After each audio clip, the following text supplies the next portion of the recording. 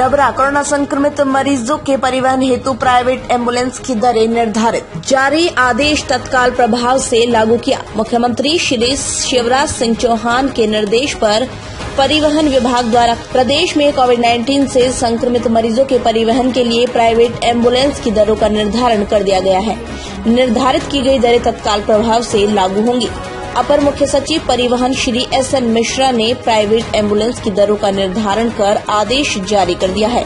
जारी आदेशों में एएलएस एंबुलेंस और बीएलएस एंबुलेंस के शहरी और ग्रामीण क्षेत्रों में प्रति किलोमीटर।